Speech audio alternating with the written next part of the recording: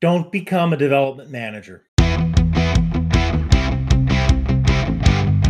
Okay, before we start you know the deal, like, subscribe, leave a comment down below. I want to hear what you have to say, whether I'm right or whether I'm wrong, and feel free to connect with me on Twitter or LinkedIn. Okay, so you're a senior team lead at your company, you're making good money, you've got a master's degree, people respect you, but you realize that you're never gonna go to the next level because your current engineering manager has been there for years and he shows no sign of leaving. So you think to yourself, I wanna get promoted. You work your butt off and never get any recognition. You're never going to become an engineering manager here. You should switch companies. That's the only way you're going to become a manager and get a promotion. Hey, I'm sorry I'm not on your right shoulder. I'm working from home today as I'm waiting for Comcast. Listen, uh, if you take a job at an outside company as a development manager, engineering manager, you're really risking your career because you're going to be sandwiched between two competing priorities. You're unproven to upper management, so they're not going to respect you or understand your capabilities. And odds are the people in your development team applied for the engineering manager position and got rejected in favor of you. So they have no reason to see you succeed. Uh, it's called the sandwich of anger, and it's why development managers. Don't listen to him. He doesn't know what's best for you. You're different because you're so smart. You're gonna be the exception. So let's take a look at CrapTech. They're a medium-sized software development company in Maryland, and uh, looks like they're going to be needing an engineering manager soon. Uh, Joel, your engineering manager, is uh, no longer with the company. Uh, I'll be signing your timesheets. If you have any questions, my door is always open. And everybody's like, Hey, Rianne, any idea what happened to Joel? I think he pissed off Janet. I mean, that's what I heard. He, he just pissed her off one too many times, and that's it. So then the job gets posted, and your internal candidates apply. I think I deserve it. I know the most about the system, and the engineers really respect me.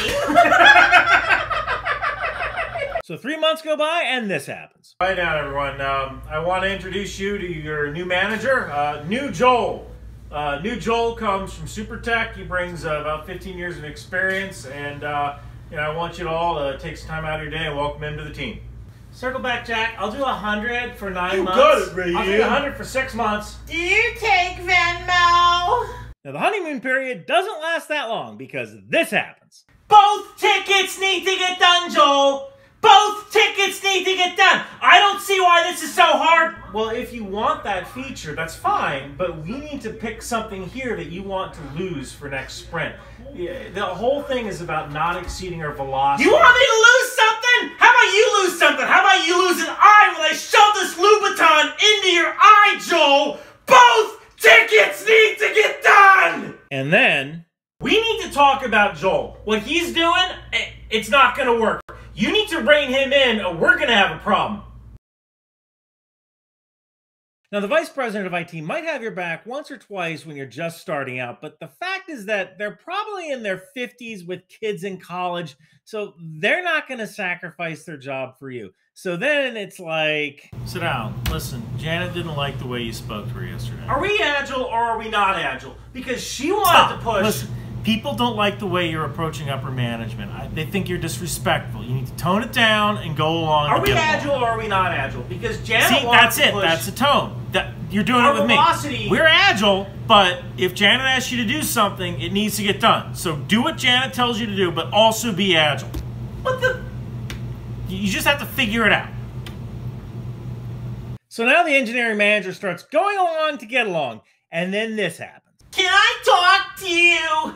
Joel is making us do extra tickets, and it's really bringing down the morale of the group. And now you're screwed. And then three months later, it's like, uh, thank you for coming. New Joel's last day was today. He's no longer with the company. Woo! I called it nine months. Pay up,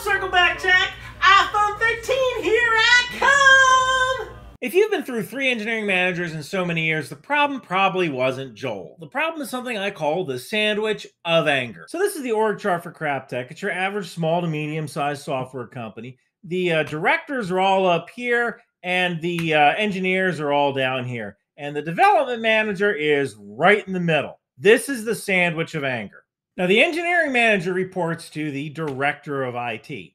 Now, the director of IT is in a really bad position. They probably have kids in college and they're probably making too much money to get a new job. It's tough looking for a job after 50. So, the director of IT might protect you once or twice, but they're not going to burn a bunch of political capital and risk getting fired to save you. So, now the development manager is in a really weird position because the people up top just want to see work getting done. They don't care about the conditions down below. And the people down below get really upset because the engineering manager is pushing them to meet the conditions of the people up top.